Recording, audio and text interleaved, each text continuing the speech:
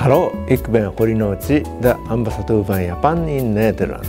In Nederland is de crocus een teken dat de lente eraan komt.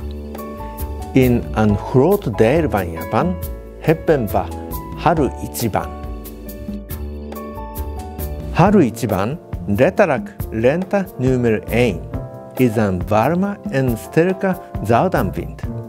Die waait voor de eerste keer wanneer het seizoen van winter overgaat in lente, behalve in de Hokkaido, Tohoku en Okinawa gebieden.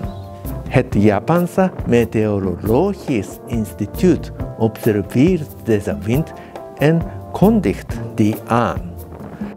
Men zegt dat het woord Haru Ichiban wordt het eerst werd gebruikt in 1859.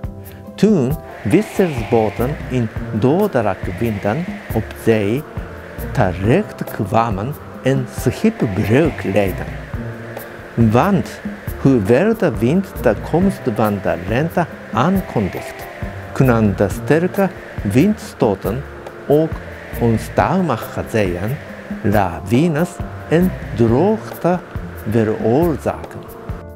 In Japan zijn de umebloem en de uguisvogel andere tekenen dat de lente eraan komt.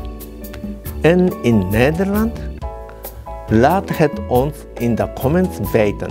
Dank u wel.